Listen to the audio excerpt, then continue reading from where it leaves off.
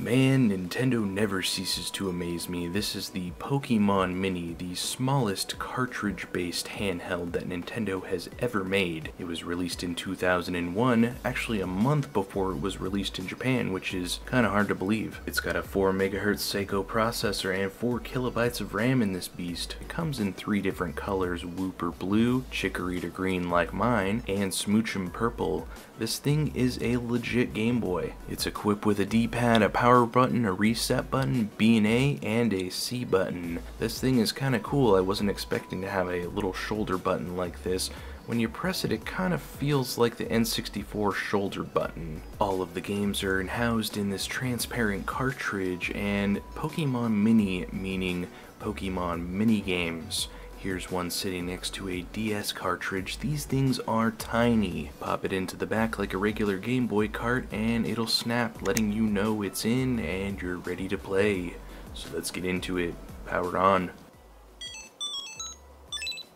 First game we're going to be taking a look at is Pokemon Zany Cards, which is a bunch of Pokemon mini card games. Some of them you can play with uh, another person if they have another Pokemon Mini, or you can just play against the CPU like I'm doing. Before the game starts, Jesse and James gives you their prepare for trouble make it double speech, and the cards are dealt. If I'm being 100% honest with you guys, I don't really understand how this game is played. The how-to instructions are extremely vague. I know it has to deal with matching up cards to get points and evolving Pokemon cards based on what your opponent has laid down, but the whole thing feels really automatic. I don't feel like I'm really doing anything. I did, however, find this particular game to be somewhat straining on my eyes. It is a 2-inch monochrome LCD screen, so I can't really complain too much. Sometimes you get really cool animations in this game, but for the most part I, I kind of just skipped it. It has Team Rocket on it, which that's all I really cared about, and I just wanted to show you guys. And the second game that I own, it looks like it got chewed up by a dog and then shat out, is Pokemon Puzzle Collection. And if the title of the game wasn't a big enough hint as to what kind of game this is, it's puzzles. Let's pop that sucker in and get her started. The game starts us off with some awesome chiptune music and three puzzle mini games. We have Motion Puzzle, Shadow Puzzle, and Rescue Mission. I'm not sure what this one is, but I'm going to start off with Motion Puzzle.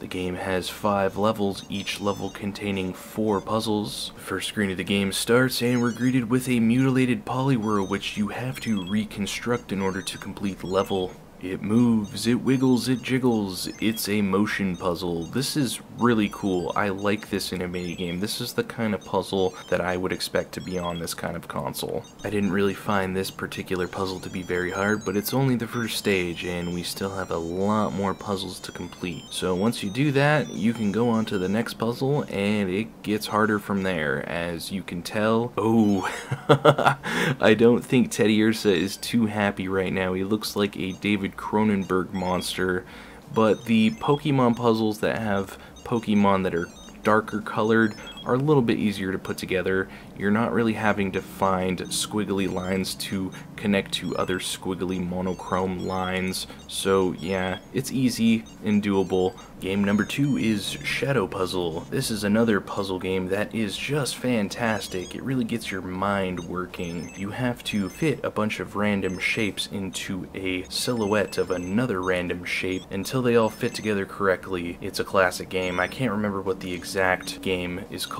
but it's fun nonetheless. It just goes to show you that even though a game is very simple, it can still be fun. And once you complete the puzzle, you are greeted by the Pokemon that you've created out of shapes. Before we get to the final game, I wanted to show you guys a cool little feature on this thing. It vibrates. It has a little rumble pack inside of it. That's just cool to me. Anyway. And on to our last game, which is Rescue Mission. This is another classic puzzle game with a Pokemon twist to it. Basically, all you have to do is move the blocks in order to move Pikachu to the other side of the screen. I don't know what's down that hole, but Pikachu definitely wants to go down there. And the controls for this are a little convoluted at times, but you get used to it. It's a pretty simple game. If you played this type of game before, again, I don't know what the original puzzle game is called. It's like that, it's fun, it's simple, it gets your mind going. Well, that is all of the games, sadly, that I own for this. There are 10 games in total.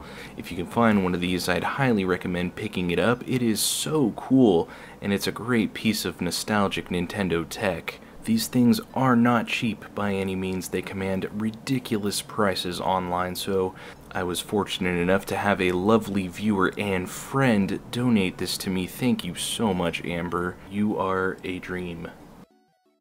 And that's going to be all for this video guys. If you enjoyed it, please hit the like button and subscribing to the channel is a thing you can do if you want to see more content like this. I upload every Thursday, so there's always something to watch. Go check me out on Instagram and Facebook, and please share this video and check out some of my other videos. If you like this one, you might like these as well. Thanks for watching, and I'll see you next week.